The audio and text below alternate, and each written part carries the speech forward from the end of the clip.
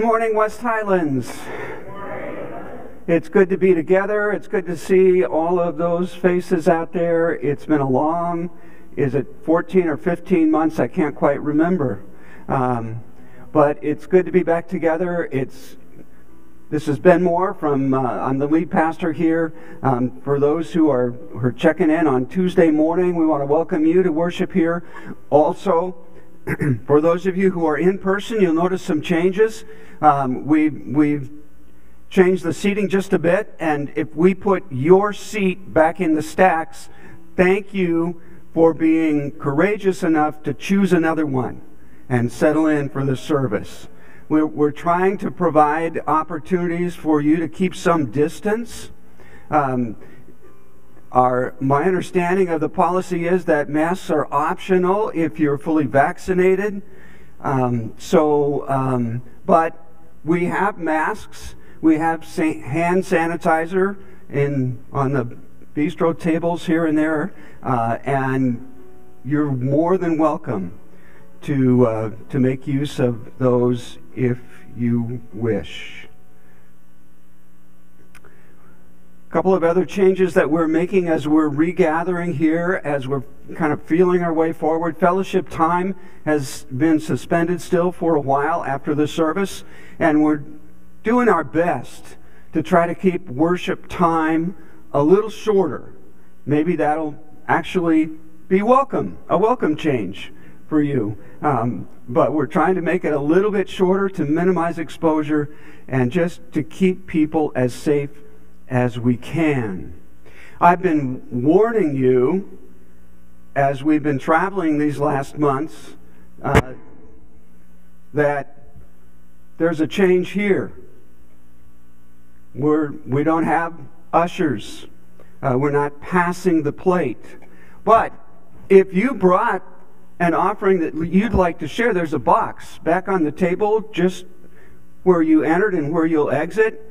And you're welcome to just put your offering in the slot, in the box. And I do give a special word of thanks to those who have been so generous over the months uh, to continually support this ministry here at West Highlands. as we lean into worship, then, uh, let's begin with a word of prayer. Good and gracious Lord, we've been pondering, thinking, and doing, belonging and pressing on, bringing heaven to earth and living into a new day. On this day as those who have decided to carve out some time for one another and for you, we ask that you would settle our spirits and speak to us again. Let this place, this time, be an island of blessing, a well deep enough to quench our thirst for life and love, for joy and peace, for hope and faith. We thank you for this time, for this place, for your presence with us again. In Jesus' name, amen. Our first musical number is Make Me a Channel of Your Peace.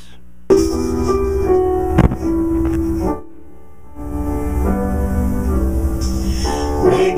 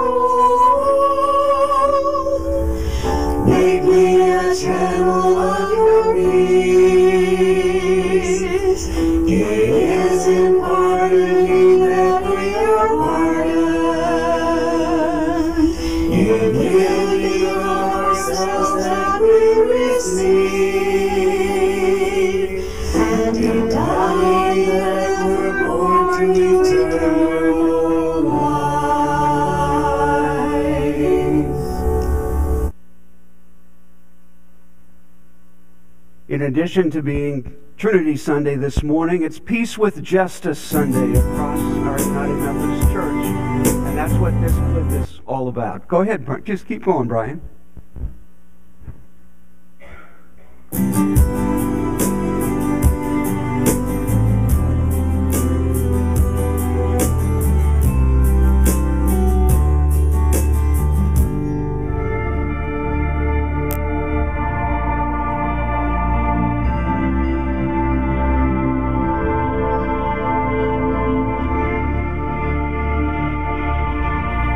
We live in a world where war, poverty, and injustice are not in short supply. If we allow ourselves to become overwhelmed by the dismal news accounts, it would be easy to determine that the ills of the world are someone else's problem. We have the power to effect change for the better, and there is evidence that peace is a powerful instrument. The United Methodist Church is dedicated to addressing social as well as spiritual concerns around the globe. Numerous annual conferences participate in various Peace with Justice ministries and work locally to guide persons in modeling God's love. When you give to the Peace with Justice Sunday offering, your gift helps to promote Peace with Justice activities like mediation and conflict resolution training. You help the church to give witness to God's demand for a faithful, just, disarmed, and secure world.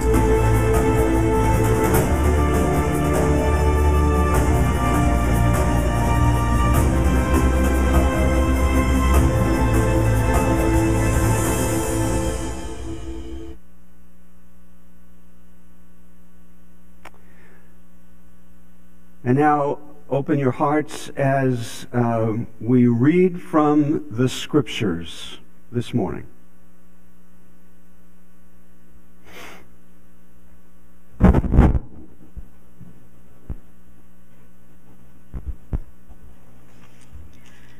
Our first reading is Isaiah 6, 1 through 8. In the year of King Uzziah's death, I saw the Lord sitting on a high and exalted throne, the edges of his robe filling the temple.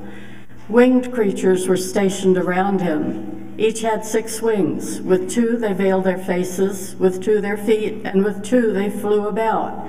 They shouted to each other, saying, Holy, holy, holy is the Lord of heavenly forces.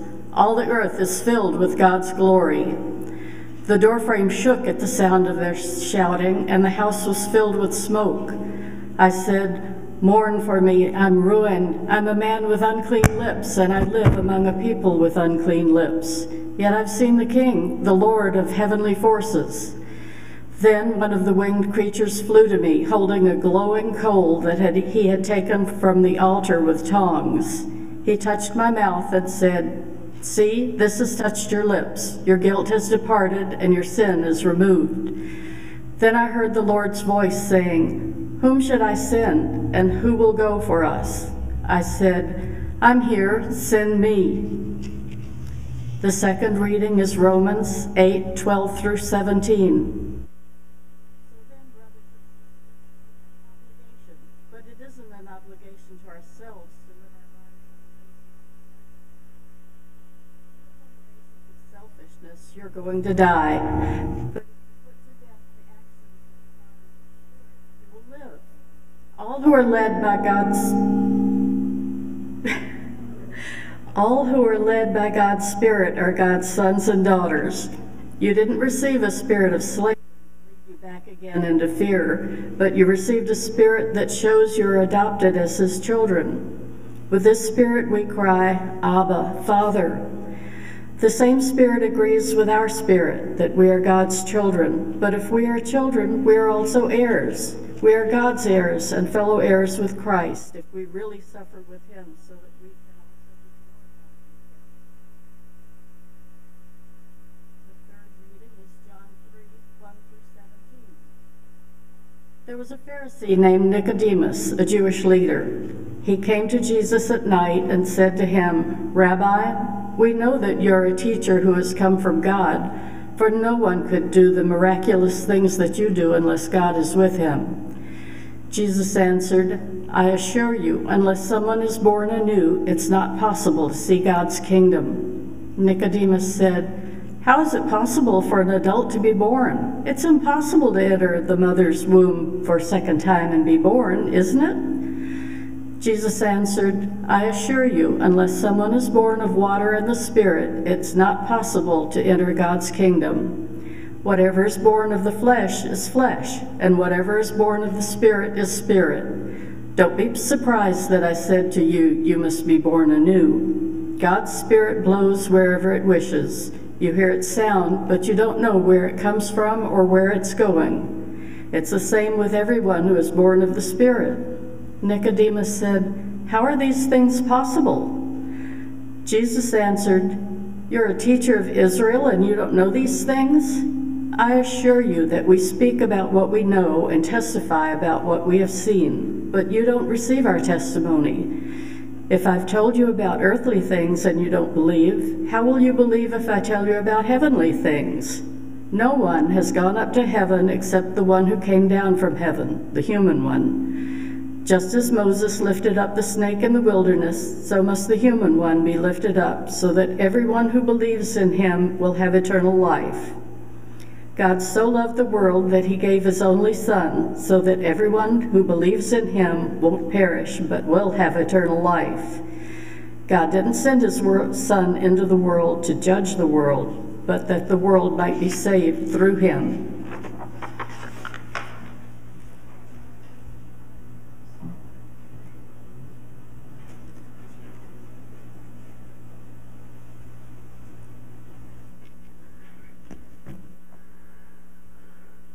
We're keeping Brian busy back there this morning. I'm sorry about the challenge with the audio. We'll have to keep working on that. Um, but um, it, it is good to be together and, and continue to to be patient with us as we, we try to bring our, our uh, sound and, and even video uh, ability up, up to speed here in worship. So last week I talked about a couple of old friends, if you remember. Talked about this one, comfortable. Fits my hand like, well, like a glove. I, I think it was third grade, or was it second grade? My first, my first baseball glove. An old friend. Chased lots of fly balls and ground balls. Not quite what it used to be, but an old friend. But an old friend. This morning I have a new friend. Well, new to me. And it, you know, it, it does, it sort of fits, yeah. It, it fits. And, and there's some nice things about my new friend. It's, it's bigger. I won't have to reach as far. I won't have to bend as low. But it'll be a while before my new friend feels quite like my old friend. Yeah? Have you had some old friends that it's kind of that way with them? Comfortable Can't necessarily do everything they used to, but a nice fit. Do you have some new friends? A little awkward at first, doesn't quite feel comfortable, but new friends that can take us places that maybe we haven't been before, that can open some possibilities that we've not known before, that can take us places where we've never been.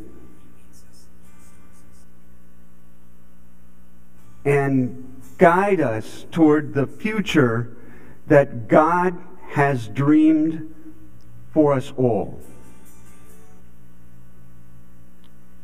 Isaiah writes, It was on the day, or very nearly after the day, when an old friend passed away. King Uzziah has died. He's guided Israel through some turbulent times.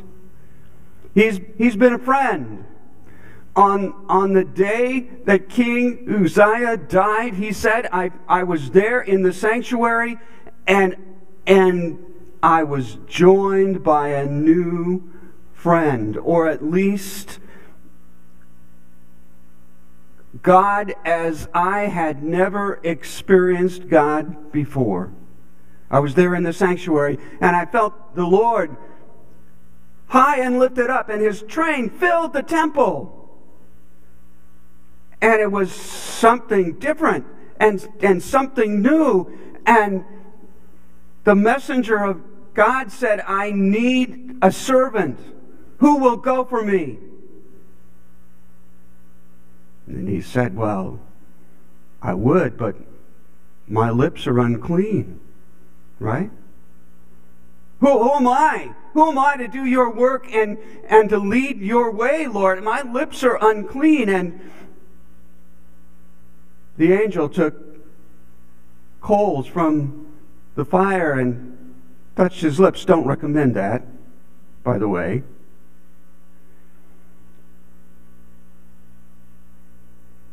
And Isaiah says, I will go. I will step into this new day, into this new way. He didn't know where it would take him. He didn't even know how he would get from here to there. But he says, I'll go. I'm hoping that West Highlands hears that kind of voice. Don't know where it will take us. But it's time for some new friends. It's time for some new ways. And it sort of fits, right? We're, we're, we're in a new sort of relationship as we worship together.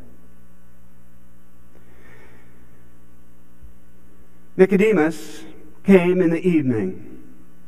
It's a story that we revisit again and again and again in the lectionary on Sundays, and maybe even in our own hearts and our own spirits. Nicodemus is looking for something new, something different. He's intrigued by what he's heard about Jesus. He wants to meet this Jesus about whom he has heard so much. And Jesus' word for him is unsettling, uncomfortable, the way new friends and new things often are. Nicodemus Nicodemus, the way from here to there is that you would be born again. Born again? What could that mean? How can that be?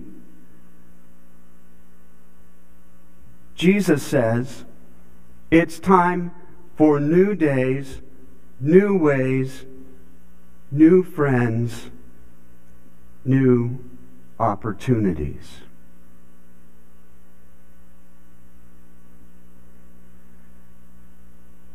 And Jesus says to Nicodemus before they're through some words so many of us treasure.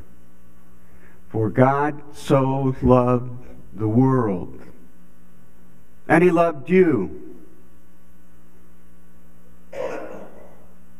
that He gave, you can almost say it with me, right? His only Son. Right. Because it's time for a new day and some new ways. Uncomfortable at first, confusing, probably, but a new day and some new ways. Paul talks about this new day and these new ways in some unsettling ways as he writes to the, his letter to the Romans. Right? There in the eighth chapter.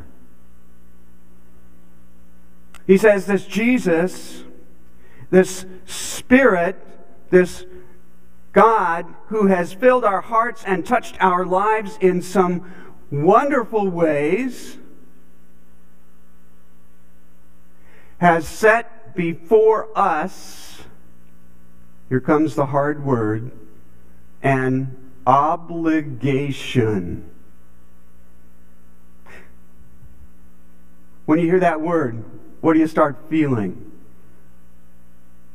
Paul says to those who would hear his words all those years ago and today, you have an obligation.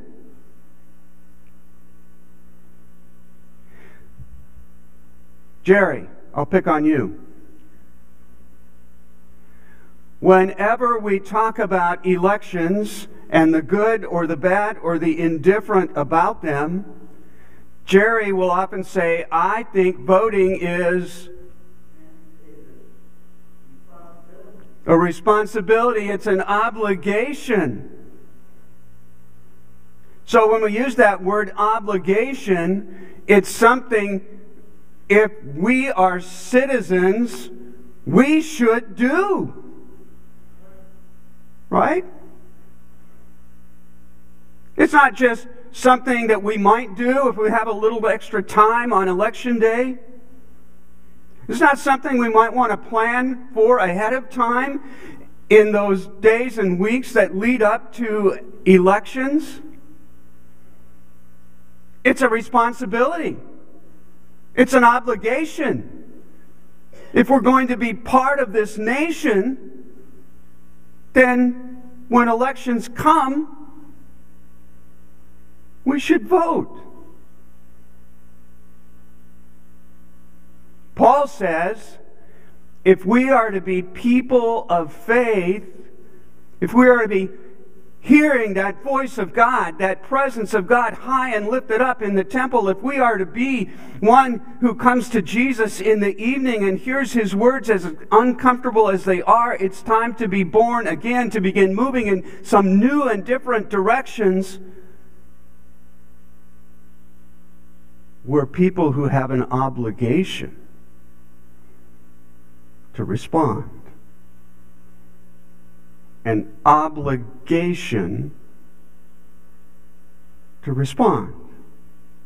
So, what does Paul say about that obligation? That new friend that might feel uncomfortable at first, but might take us places we've never been that might lead us into a future that God has always dreamed might be ours. He says that obligation is can be summed up in two things. It's about your heart. Obligation is if you would be part of this thing called church, if you would be part of this West Highlands United Methodist church Open your heart. You have an obligation. Open your heart. Be open. Now, that's not always easy. I thought I knew exactly where God wanted to take uh, this church and this ministry over the next couple of months. And you know, I had a surprise this last week. I was all ready to go right down this road. And all of a sudden, I'm not going down that road. Some things changed. The obligation, though, is to open hearts to what God wants to do in our lives and in our church. And it might feel very uncomfortable and unsettling at first. I talked a little bit about new things last Sunday, and, and Steve, I'll pick on you. He said, So when are we going to find out who our new pastor is? And I said, You're looking at him. I'm your new pastor. I'm not talking about new pastor, I'm talking about new ministry and obligation that we have to open our hearts to where it is God wants to take us. To begin again, like Jesus said to Nicodemus. To step toward a future that God lays in front of us. Our obligation is to open our hearts to what God wants to do with us and what God wants to do with us and what God wants to do in the world. And I I'm a little confused. I'm not exactly sure what all of that is. And we don't have to be so sure. We just have to be willing to be open. Open your heart. You have an obligation. The second obligation, part of that obligation that Paul talks about as he writes to the Romans is our obligation is to share our hearts. To share our hearts. Open our hearts to wherever God is taking us, whatever God wants to do. Share our hearts with whoever God brings across our path. Not an easy thing to really be open. I'll admit it. Not an easy thing to be willing to share our heart. Because when we talk about heart, we're talking about some personal stuff, right? There are times when we're not even sure we want God looking around in there even though part of us knows he does. Paul says we have an obligation not only to be open enough to let God work around in there, but open enough to share that with others. Because this faith that we've embraced is all about heart. It's about change. It's about future, but it's, it's about heart. We have an obligation to open our hearts to whatever God wants to do. We have an obligation to open our hearts to one another. It, it's what continues to keep us strong as, as a body. The key to our coming out of this terribly difficult time still together. Look around. Pretty good crowd. My sister said this week, How many do you think you still have coming out of all of this? Because I'm sitting in a church looking around at 15 or 20 faces, and I don't know where everybody else went. And I said to her, because we've been opening our hearts and connecting these last 15 months, even though we couldn't be together like this, I don't think we lost many people. I, I think we're still together. Sharing our hearts holds us together, and sharing our hearts invites others in. Sharing our hearts invites others in. Yeah, now I've got to the hard part. Paul says, you know, if you're going to be part of this thing called church, you need to be willing to share your heart, that which is precious and important, life giving, life sustaining, gives life your meaning and your purpose with those you meet. Because how else will those out there ever find their way in here? How else will those out there ever find their way in here? You have an obligation to share your heart to say when someone's down, I've been down too, but you know what? I've found something that gives me strength when I'm down. I wonder if you'd like to know what that is. It's not about accosting everybody on the street corner. It's about sharing your heart. It's about sharing your heart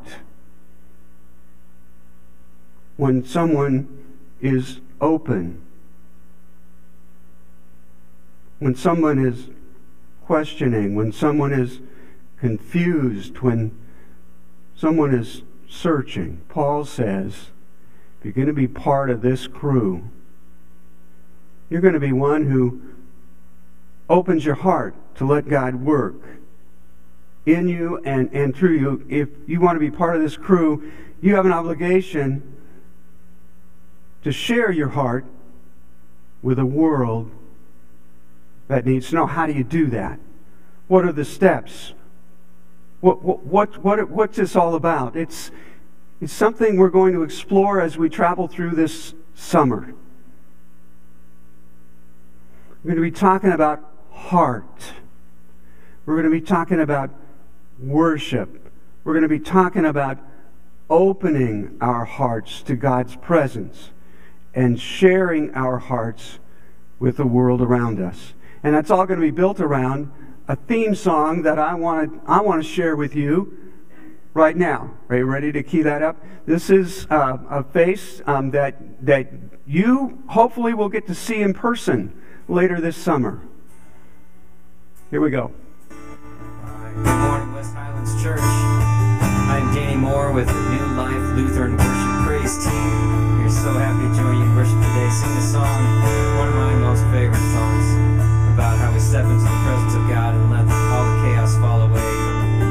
He meets us and He restores us. So let's sing this song, Heart of Worship. When the music fades, all is stripped away. I simply come, longing just to bring something that's a worth that'll bless your heart.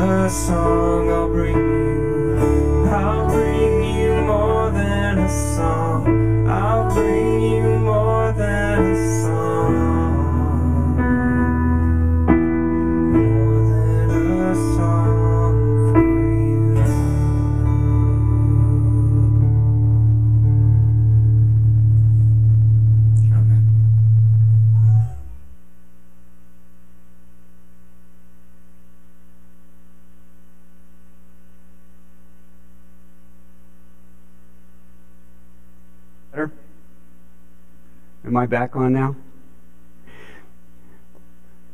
That's Danny. Of course, he'll be here in July, and I'm, I'm hoping I can sweet talk him into uh, singing something for you in, in person. His wife Becky is on the keyboard, and um, our grandson was had a cameo in there. Anchor was there as they were recording.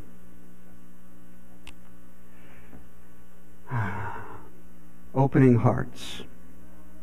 Uh, Let's try opening our hearts in worship as we take our prayers to God. Join me.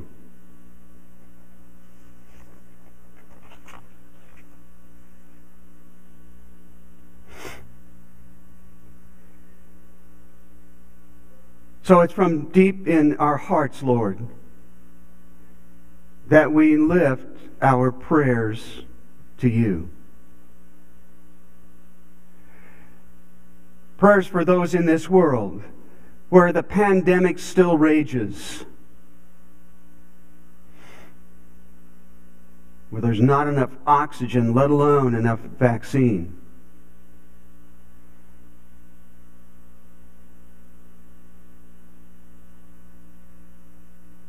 Open hearts, touch lives.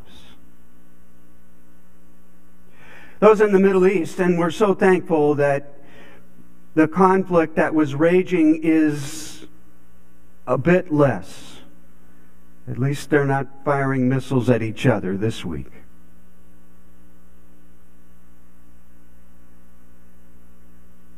But open their hearts, Lord, that they might see you and one another in some ways that can bring healing to a conflict that's nearly as old as time.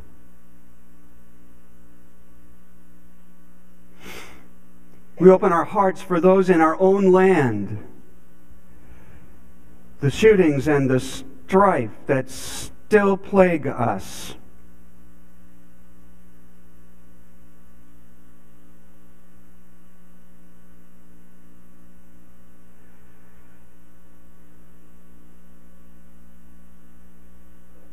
We open our hearts for those of our own who've been struggling this week.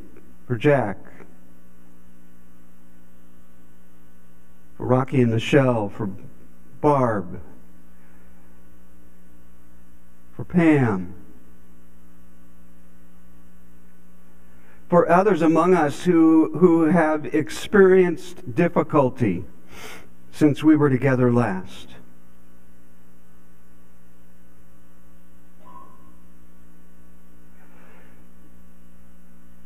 We lift to you those who, who may still be celebrating. Sam graduating a, a, a week ago from college.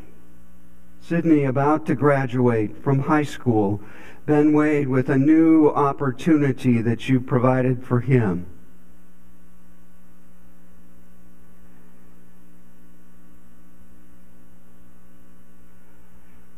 Open our hearts for this community in which you have placed us.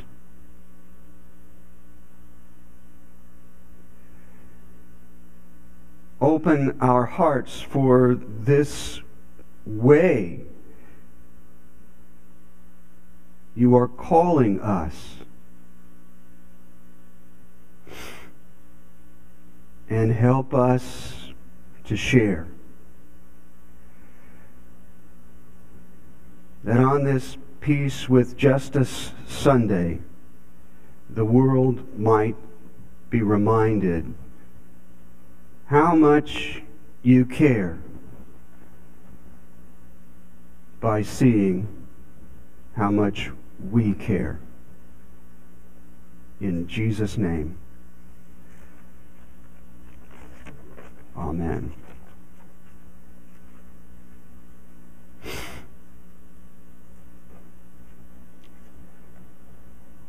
Our obligation might be summed up in the chorus from this next song.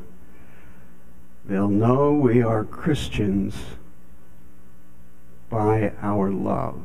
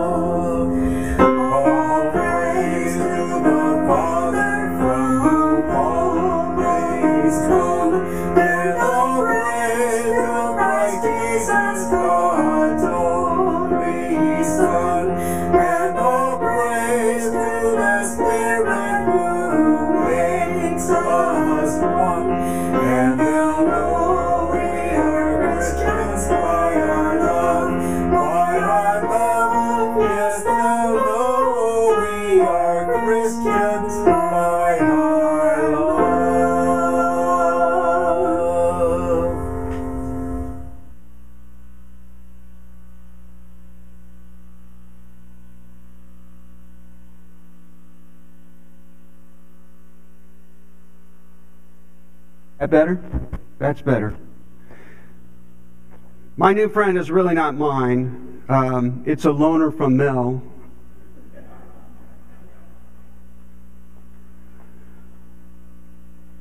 But maybe she's got some other friends she'd like to share with us, huh?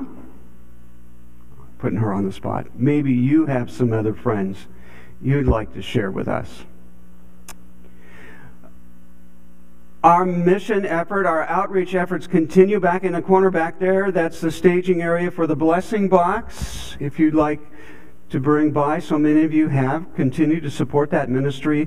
Um, we have the free trade cart. Claudia's back there waiting, waiting for you. If you need a, a little dose of uh, chocolate before you hit the trail, it's available right out there. If you need to take some coffee home with you uh, to give you the energy for the rest of the day or tea, um, it's it's there. And the proceeds do help not only support farmers around the world, but help support our mission effort as well.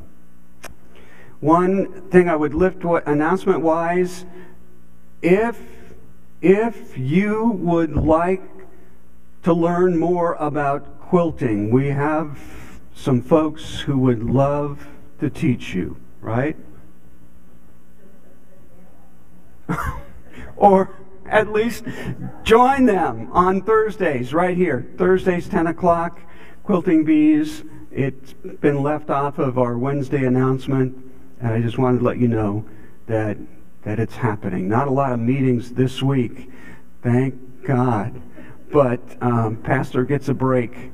Um, I hope you, you enjoy the rest of your weekend, and wherever this week takes you, know that God goes with you. God, who is Father, high and lifted up. God, who is Son, willing to be honest even when we don't want to hear. God, who is Spirit, challenging us with an obligation. Amen. Thank you.